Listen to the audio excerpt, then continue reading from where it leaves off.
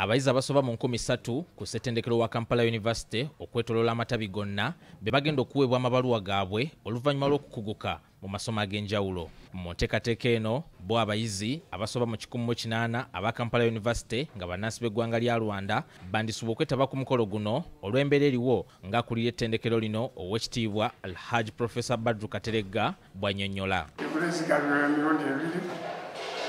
Esobola ogabirwa oyo aliwo ataliwo kasita aba amaze okutuukiriza ebisaanyizo byokufuna diguli olwekyo bajja kufuna diguli zaabwe ono asabye abakulu mu gavumenti zombi okukkaanya kisobozesa embeera eno okutereera n'emirimu giddemu okutambula. Owekitibwa kateregga asabye abalina amatendekero aga waggulu okwongera okuteeka ensimbi mu masomo aga saayansi ne tekinologiya kisobozesa abayizi abakola amasomo gano okubeera ab'amaanyi mulimu gwange okukubiriza banange abali mu nsiika eno eyebyenjigiriza okulaba nti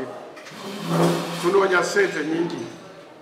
netuzongera mu kitongole ekyo byokunoonyereza. Research olwo tufune okugatta ku magezi gaffe ge tulina mu ngeri yemu ategeezezza abazadde nga bwe balina okukomya omuze ogw'okulonderawo abaana amasomo g'okutwala nga batuuse mu matendekero aga waggulu kubanga kino kireetedde bangi okufuluma amatendekero nga bakibogwe batunuulire nnyo obusobozi bw'abaana baabwe. Balabe kiki kye basobola.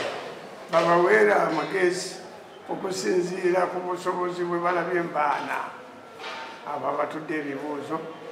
baleme kubawa amagezi ku bo kye baagala abatwala ebyenjigiriza mu ssettendekero ono bategeezezza ng'omuwendo gw'abayizi bwe gweyongedde obungi naddala abo abava mu mawanga ag'ebweru